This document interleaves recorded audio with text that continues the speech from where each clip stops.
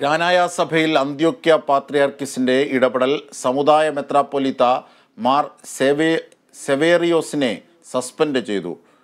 ചുമതലകൾ നിർവഹിക്കുന്ന മാർ സെവേറിയോസിനെ വിലക്കേർപ്പെടുത്തിയിരിക്കുകയാണ്. ചിങ്ങമനത്ത് അടിയന്തര യോഗം ചേരുന്നു.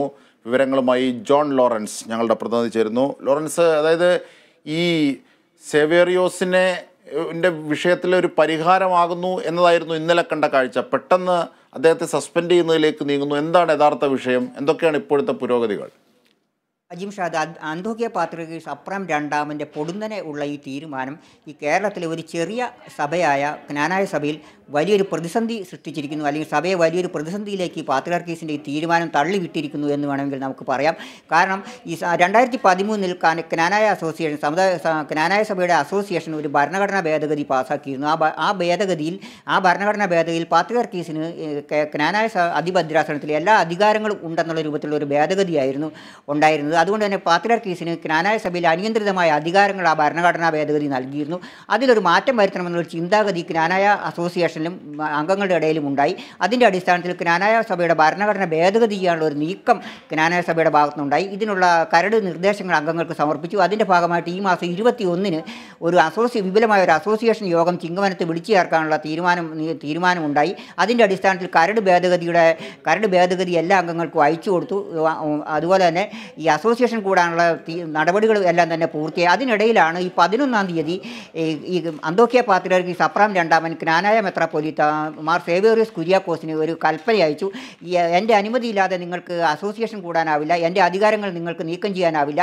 അത് ഇതിന് സുപ്രീം കോടതിയുടെയും അതുപോലെ തന്നെ ഹൈക്കോടതിയുടെ എല്ലാം തന്നെ പ്രൊട്ടക്ഷനുള്ള ഭരണഘടനയാണ്. അതുകൊണ്ട് തന്നെ നിങ്ങൾ ഇത്തരം നടപടികളായിട്ട് മുൻപോട്ട് പോകാൻ പാടില്ല.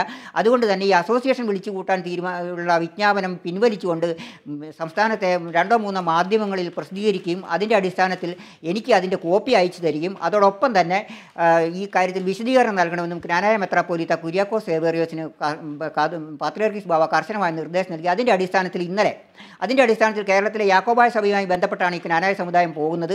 ആ ജ്ഞാനായ യാക്കോബായ സഭയുടെ സിനഡ് പ്രാദേശിക സിനഡ് യോഗം ചേരുകയും ഈ ജ്ഞാനായ സമുദായത്തിലെ നാല് മെത്രാപ്പോലീത്തമാരെ അങ്ങോട്ട് വിളിക്കുകയും ഇതിന്റെ അടിസ്ഥാനത്തിൽ പ്രശ്നങ്ങൾ അവിടെ വിശദീകരിക്കപ്പെടുകയും ചെയ്തു. അതിന്റെ അടിസ്ഥാനത്തിൽ ഒരു മൂന്നംഗ കമ്മീഷനെ അത് മെത്രാപ്പോലിത്തൻ ട്രസ്റ്റി ഇപ്പോഴത്തെ മെത്രാപോലിത്തൻ ട്രസ്റ്റി ജോസഫ്മാർ ഗ്രിഗോറിയോസിന്റെ നേതൃത്വത്തിൽ ഒരു നാലംഗ മൂന്നംഗ കമ്മീഷൻ നിയമിക്കും. ഈ പ്രശ്നത്തിൽ ഒരു സമവായം ഉണ്ടാക്കാനുള്ള ധാരണകളിലേക്ക് നീങ്ങുകയും ചെയ്തു. അവർ അന്തോക്കിയ പാത്രക്കീസുമായിട്ട് ചില ആശയവിനിമയങ്ങളൊക്കെ നടത്തിയിട്ടുണ്ട്.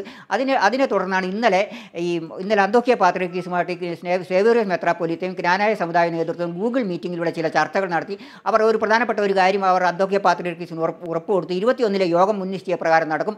അതിൽ അന്തോക്കിയ പാത്രക്കീസിന്റെ അധികാരങ്ങൾ എടുത്തു മാറ്റുന്ന ഒരു നടപടിയും ഒരു ഭേദഗതിയും ഉണ്ടാവില്ല എന്ന് പറഞ്ഞു. അപ്പോൾ പാത്രക്കീസ് പറഞ്ഞു എന്നാണ് പറയുന്നത്. അങ്ങനെയാണ് നിങ്ങൾ ഗോ ഹെഡ് അതായത് നിങ്ങൾ നടപടികളുമായി മുന്നോട്ട് പോയിക്കോളൂ എന്നുള്ള ഒരു അനുവാദം കൊടുത്തു. അതിന്റെ അടിസ്ഥാനത്തിൽ ഗ്രാനായ സമുദായ നേതൃത്വം ഈ മാസം ഇരുപത്തിയൊന്നിന് ഭരണഘടനാ ഭേദഗതി ഉൾപ്പെടെയുള്ള കാര്യങ്ങളുമായി മുന്നോട്ട് പോകാൻ തീരുമാനിച്ചിരിക്കുമ്പോഴാണ് പാത്രികീസിനെ എന്റെ അധികാരങ്ങൾ നിജപ്പെടുത്തുന്നത് ഒഴികെയുള്ള ഭരണഘടനാ ഭേദഗതികളുമായിട്ട് മുന്നോട്ട് പോകാൻ നിർദ്ദേശിച്ചിരിക്കുകയായിരുന്നു. അതിനിടയിലാണ് ഈ കോൺഫറൻസ് ചേർന്നതിന് ശേഷം ഇന്നലെ പൊടുന്നിനെ അന്തോക്കിയ പാത്രക്കീസിന്റെ ഭാഗത്തുനിന്ന് ഒരു ഒരു ഉത്തരവുണ്ടായത്. അദ്ദേഹം ഈ ജ്ഞാനായ സമുദായ മെത്രാപ്പൊലിത മാർ സേവേറിയസിനെ സസ്പെൻഡ് ചെയ്തു ചുമതലകൾ നിർവഹിക്കുന്നതിൽ വിലക്കി. തീർച്ചയായും അസോസിയേഷൻ മുൻ നിശ്ചയിച്ച പ്രകാരം ഇരുപത്തിയൊന്നിന് നടക്കുമെന്നായിരുന്നു നേരത്തെ പറഞ്ഞിരുന്നത്. ഈ പുതിയ പ്രതിസന്ധിയിൽ ഇനി നടക്കുമോ അങ്ങനെ? അക്കാര്യത്തിൽ കനാനായ സമുദായം ഇപ്പോൾ ഈ അന്തോക്യ പാത്രികീസിന്റെ ഈ സമവായത്തിന് ശേഷം അന്തോക്യ പാത്രികീസിന്റെ ഭാഗത്തുനിന്നുണ്ടായ ഈ നടപടി ഏകപക്ഷീയം എന്നാണ് സഭാ നേതൃത്വം വിലയിരുത്തുന്നത്. ഇപ്പോൾ അത്ര അല്പ അല്പസമയം മുമ്പ് അവിടെ യോഗം ഈ അന്തോക്യ പാത്രികീസിന്റെ ഈ നടപടിയിൽ വലിയ അമർഷം കനാനായ സമുദായങ്ങൾക്കിടയിലുണ്ട്. സംസ്ഥാനത്തിന്റെ വിവിധ ഭാഗങ്ങളിലുള്ള കനാനായ സമുദായ അസോസിയേഷൻ അംഗങ്ങളും അതായത് സമുദായ അംഗങ്ങളും ചിങ്ങവനത്തേക്ക് പ്രവഹിച്ചുകൊണ്ടിരിക്കുകയാണ്. അവിടെ വലിയ തോതിലുള്ള പ്രതിഷേധം നടന്നു. അതിനിടയിലാണ് ഈ യോഗം നടന്നത്. സമുദായ ട്രസ്റ്റിയും അതോടൊപ്പം തന്നെ സഭാ സെക്രട്ടറിയും അതോടൊപ്പം തന്നെ വൈദിക ട്രസ്റ്റിയും വൈദികർ ഉൾപ്പെടെയുള്ളവരുടെ യോഗം ചേർന്നു. അവർ പാത്രികീസുമായിട്ട് ഇന്ന് ഒരു കത്ത് പാത്രികീസിന് ഇന്ന് തന്നെ കത്തയക്കാൻ തീരുമാനിച്ചിട്ടുണ്ട്. അല്പസമയത്തിന് അവർ കത്തയക്കുമെന്നാണ് സഭാ സെക്രട്ടറി ഇപ്പോൾ വാർത്താ സമ്മേളനത്തിൽ നടത്തി പറഞ്ഞത്.